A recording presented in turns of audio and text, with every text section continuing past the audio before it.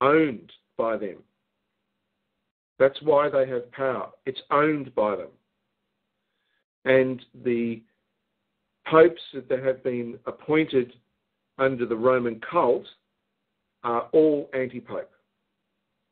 And they're only anti pope because they usurped true Catholic religion formed in the 8th century. And if you want to know an interesting date, the date that the first French Catholic Pope arrived in Rome was 751, the year 751. And if you add 1260 years, which is one interpretation of Daniel, to that, the end of the reign is 2011. Happens to be this year. Okay? Wow, very interesting. I have a remark here to uh, as a remind for a reminder of a, a closing response to Ray. Oh, I missed that. Sorry, what was that little bit then? Oh, this, this was a quick reminder for your uh, closing response to Ray. Ona. Oh, yes. What just Ona, what that means? Okay. All right. Um, next question from the chat here. Um, let's see. Uh, there was a question here. Um, oh, it looks like someone answered it on the on the chat here, asking for where the piece, uh, what where the document is, or what document explains what the P stands for on the passport. Um, and it, I believe that Gerald is working on that as we speak, or he did already send a link um, we can get to. Um, all right, Frank. Anything else that we can uh, cover as a wrap up tonight? Well, I think let's let's wrap up. Um, okay. And I just want to thank again. I want to thank everyone for their patience with what we're doing. I want to thank everyone for their bravery and, and interest in in this and talking with others and sharing with others. Uh, for everyone, it's not easy. Surviving is not easy. Um, putting your head up and being prepared to make a stand is not easy.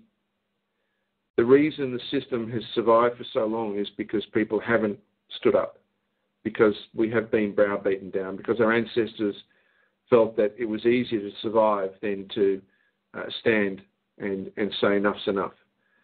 But everything around us is changing. And even though it seems that time on this is plodding and taking slow, they had hundreds of years to build their system, hundreds of years. And what we are doing is uncovering their core powers in days and weeks. So I look forward to seeing that we will have those changes in the remedy packages. I look forward to seeing the finalisation. I definitely look forward to seeing the finalisation of positive law and the updating of the numbers for ecclesiastical law. But I just want to thank everybody. Uh, I try my best and I do appreciate all that you're all doing. So thanks again, Terry, and I really appreciate your hosting tonight. Um, thank you for your comments and thanks for your uh, help in this. And uh, I look forward to speaking with you and with everyone same time next week. Thank you. Okay, very good. Thank you, Frank.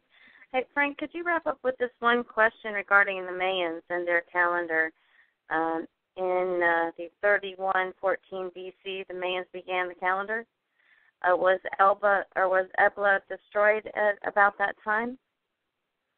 No, Ebla, Ebla had uh, two major destructions. Uh, it, it, its first destruction was at the hand of uh, Mari, the city of Mari that worshipped dark, and uh, the the or they called the Maru, and later on we know them as the Ammaru or the Amorites. Uh, and that was destroyed around about uh, 2700, 2600 was the first, and uh, they got the city back up again.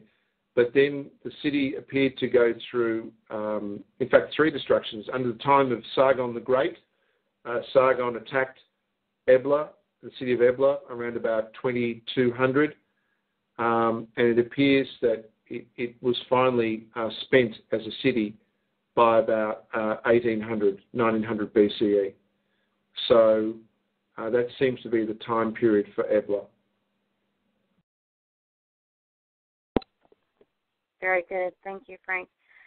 And uh, with that, I would like to uh, thank everyone for joining us tonight. Thank you for your participation and uh, great call tonight, Frank. Appreciate all the great information you've shared and the updates, and um, inspires us all to get back out there and read what's out there, what the changes are, and uh, new information. And we can uh, also, you know, with everything that you added, it's great information to to give to those that that we've just been talking about, those that are just on the brink of, you know, getting into the truth, and that we're helping to wake up. So that's exciting.